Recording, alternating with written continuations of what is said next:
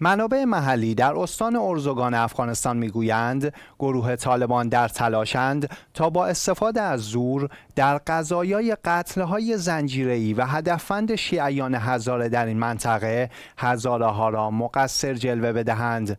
پس از شهادت, شهادت یک عالم دینی هزاره در منطقه ششپر طالبان بیش از پنجاه تن از هزاره های ساکن منطقه را بازداشت کرده است.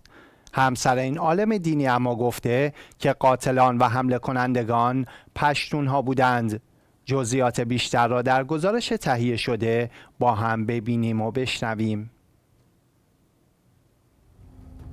پنج روز پیش در تاریخ سیوم تیر ماه منابع محلی خبر دادند دو تن که لباس نظامی طالبان بر تن داشتند رستم رحیمی روحانی یک مسجد را در شهرستان اوروزگان خاص افغانستان با ضربات چاقو به شهادت رساندند پس از نشر تصاویر و انعکاس این خبر گروه طالبان چند تن از ساکنان ششپر اوروزگان خاص را به خاطر رسانه‌ای کردن قتل این عالم دینی بازداشت کرد. حالا منابع می‌گویند که در روزهای گذشته طالبان پیوسته ساکنان منطقه ششپر را فرا می‌خواند و شماری را برای بازجویی با خود می‌برند. به گفته این منابع شماری از بازداشت شدگان پس از بازجویی آزاد شدند اما در حال حاضر حدود پنجاه نفر از هزاره های اوروزگان در زندان طالبان به سر می‌برند. منابع می‌گویند طالبان در حالی ساکنان این منطقه هزاره نشین را در پیوند به قتل رستم رحیمی عالم دینی هزاره بازداشت کرده که همسر مقتول می‌گوید افراد قاتل پشتون بودند. این منابع می‌گویند که همسر رحیمی نخستین فردی بوده که به مسجد رفته و افراد قاتل را دیده است. به گفته منابع همسر آقای رحیمی گفته است که حمله کنندگان پشتون بودند اما طالبان شهادت او را نمیپذیرند و می‌گویند از آنجا که او زن است برای تایید شهادت او باید یک زن دیگر نیز گواهی دهد. منابع اعلام کردند که مقام های طالبان سعی می کنند که قتل عالم شیعه را به گردن هزاره های ساکن این منطقه بیندازند. آنها افزودند که این گروه تلاش دارد خانواده آقای رحیمی را وادار کند که علیه هزاره ها در این مورد شهادت دهند. به گفته این منابع سال گذشته نیست طالبان هزاره ها را در قتل ها متهم کرده بود اما با بررسی هیئتهایی از کابل و سازمان ملل متحد مشخص شد که هزاره ها در قتل دست ندارند.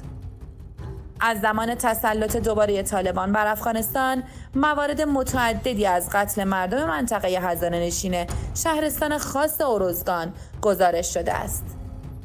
منابع محلی می‌گویند که در این مدت دست کم 21 نفر از مردم این شهرستان به شکل هدفمند و سیستماتیک به شهادت رسیدند.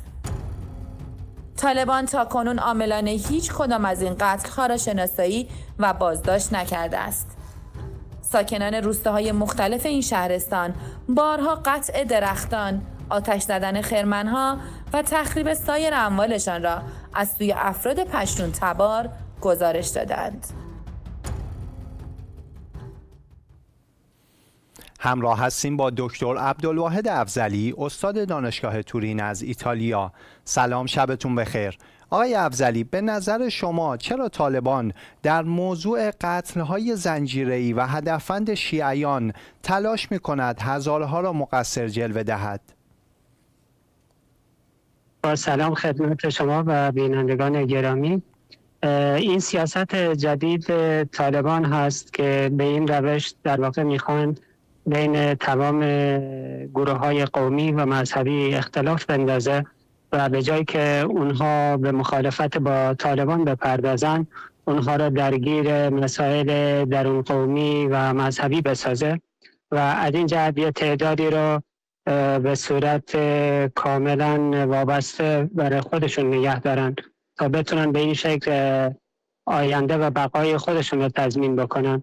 و این روند در بین تمام گروه های قومی و مذهبی وجود داره و دارن این کار می‌کنن و خصوصا بین گروه های مذهبی شیعه این موضوع پررنگتره برای اینکه احتمال اینکه در آینده آنها به دلیل محدودیت های متعدد قیام بکنن و بیستن در برابر طالبان دارن این سیاست ها را به پیش می‌برن. ممنونم از شما دکتر عبدالواحد افزلی استاد دانشگاه تورین از ایتالیا همراه ما بودند.